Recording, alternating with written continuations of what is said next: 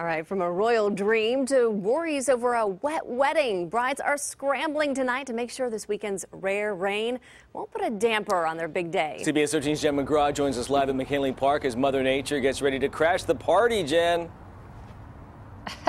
Tony and Adrian, raindrops on roses are not going to be the few of the favorite things this weekend for many couples who are tying the knot outdoors. We caught up with one family who's had to change all their plans.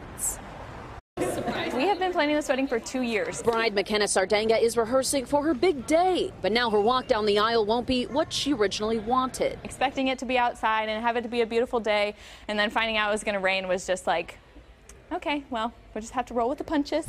As the mid-May storm clouds move in, her beautiful outdoor ceremony is now being brought indoors here at the old Sugar Mill Winery in Clarksburg. The bride and groom for tomorrow, we're planning on standing right in front of this area. Our bride would have walked all the way down this beautiful aisleway. Rachel Wiggins is rushing to keep this weekend's wedding from becoming a washout. A bride that has planned her wedding for years, dreamt about it since she was a little girl. Something that changes the plan like that can be a big upset for any bride. As wedding director, it's her job to plan for contingencies. We just plan for plan B. The valley is expecting to get up to an inch of rain, potentially drowning out hundreds of weddings. It is supposed to be good luck. Nicole Sardanga is a little sad to see her daughter's dream wedding drenched. The other thing she really wanted was sunset pictures, so we're keeping our fingers crossed and praying that we'll have a little bit of a break.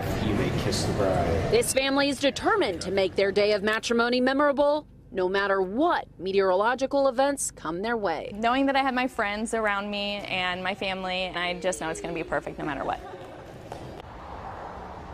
And it's at Sugar Mill, so it's going to be beautiful no matter what. Be sure to bring an umbrella just in case. Nice. You gonna finish the whole song for us now? it. Raindrops on Roses. Perfect.